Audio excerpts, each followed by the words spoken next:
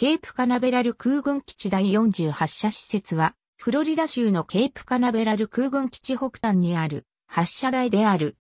1965年から2005年までアメリカ空軍がタイタン3とタイタン4の打ち上げに用いた。2007年4月25日、アメリカ空軍はファルコン9を打ち上げるスペース X に SLC-40 を貸与した。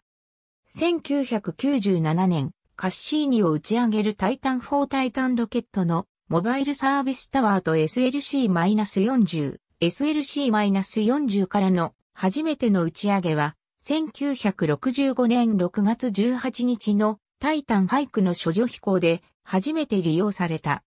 二つのトランステージを運び、機能性を試験した。2機の惑星探査機がこの発射台から打ち上げられた。SLC-40 からの最後のタイタンの打ち上げは2005年4月30日のタイタン 4B による偵察衛星ラクロス5号の打ち上げである。2007年末から2008年初頭には、塔が解体され、2008年4月27日にコントロールドデモリッションによって爆破された。2008年4月、スペース X のファルコン9の打ち上げ支援に必要な地上施設の建設が始まった。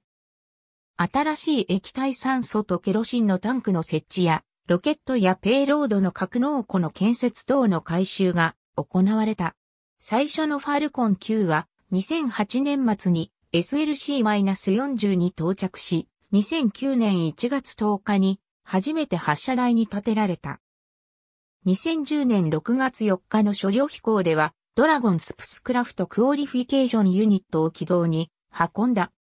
SLC-40 は2011年の退役までスペースシャトルが担っていた国際宇宙ステーションへの物資の輸送を行うスペース X のドラゴンの発射施設となっている。スペース X は2010年12月8日にドラゴンの初の試験飛行を成功させ、2012年5月22日には国際宇宙ステーションとのドッキングに初めて成功した。2016年9月1日のファルコン929号機の打ち上げ前試験において発射台に据え付けられていたロケットが2段目から爆発炎上。人的被害はなかったものの、ロケットと衛星が失われるとともに、施設もダメージを受けた。ありがとうございます。